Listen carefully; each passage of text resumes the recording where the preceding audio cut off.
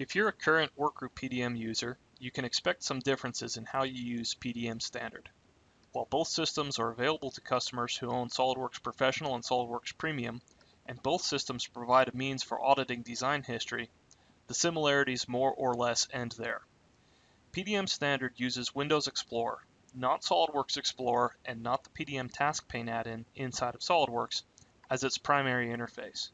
You will browse to, open, save, copy, paste, etc., etc., etc., through Windows Explorer and normal File Open or File Save As dialog boxes, just as you would for any other file types that you work with day in and day out.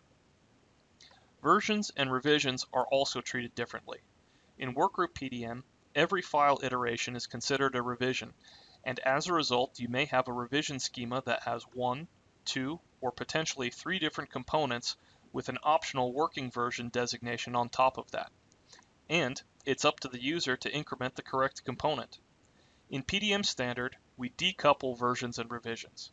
A version is something that gets created on each check-in if the file has changed, whereas a revision is basically a label applied by the workflow to the particular file version that you are releasing.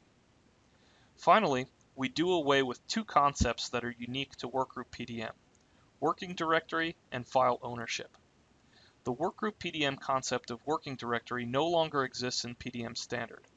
While files are still cached locally when accessed by the client, they're not flattened into a single folder outside of the Vault environment.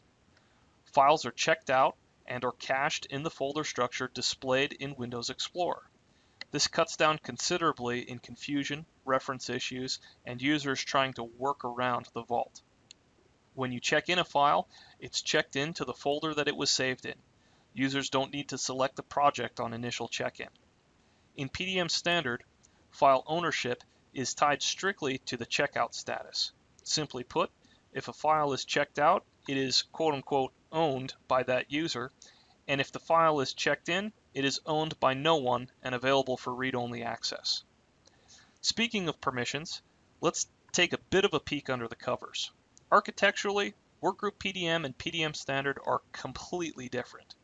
Whereas Workgroup PDM is a flat folder-based system using text files to manage file references and metadata, PDM Standard uses a Microsoft SQL Express database backend along with a hexadecimal folder structure for file hashing that delivers better and more reliable performance as datasets continue to grow.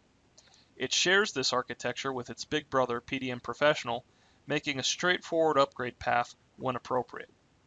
The permissions themselves are very granular, especially as compared to Workgroup PDM. For example, I can assign folder permissions in Workgroup PDM as follows. Read only, read write, or no access. That's it.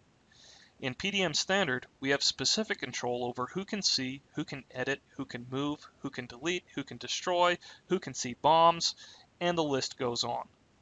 Another prime example, creating folders.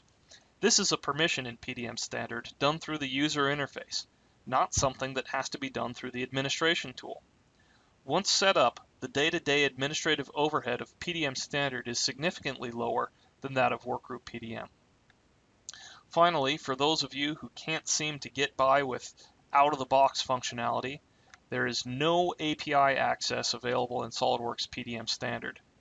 Similarly, if you own the Workgroup PDM Advanced server providing web portal access, that is also not available in PDM Standard you would need to go to SOLIDWORKS PDM Professional for web and or API access.